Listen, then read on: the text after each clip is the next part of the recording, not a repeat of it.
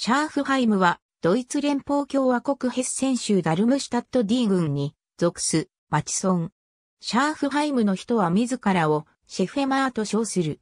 シャーフハイムは、バイエルン州の都市アシャフフェンブルクの西約 15km に位置するヘッセン州南部の町で、歴史的地域で言えば、バッハガウ地方に属す。シャーフハイムは、北はバーベンハウゼン、東はグロースオストハイム及びメムリンゲン、南と西はグロースウムシュタットと境を接する。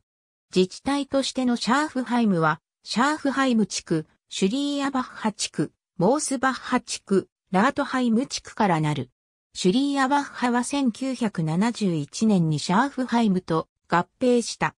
1976年にラートハイムとモースバッハもこれに合併し、現在の自治体としてのシャーフハイムが成立した。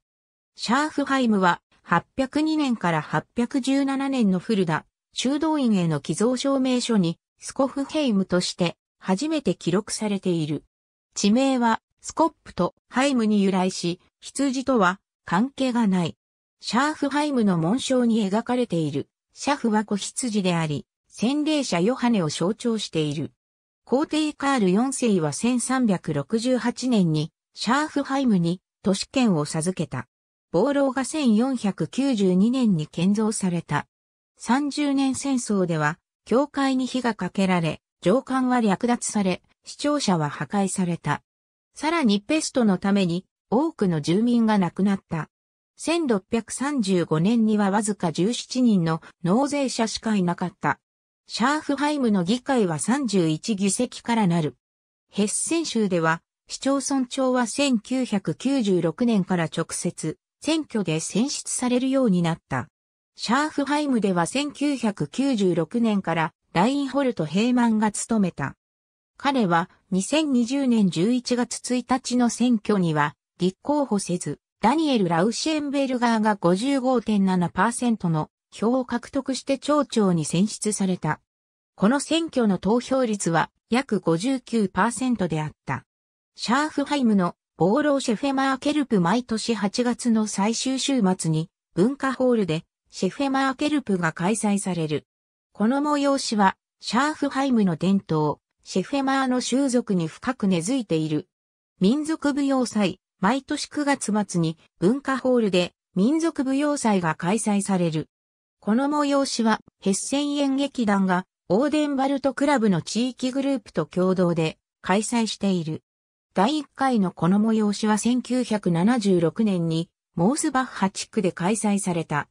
クリスマス市 アドベントの第3週末に街の中心部でシャーフハイムのクリスマス市が開催される。シャーフハイムのほとんどの商店、サークル、レストランや教会組織がクリスマス市に店を出している。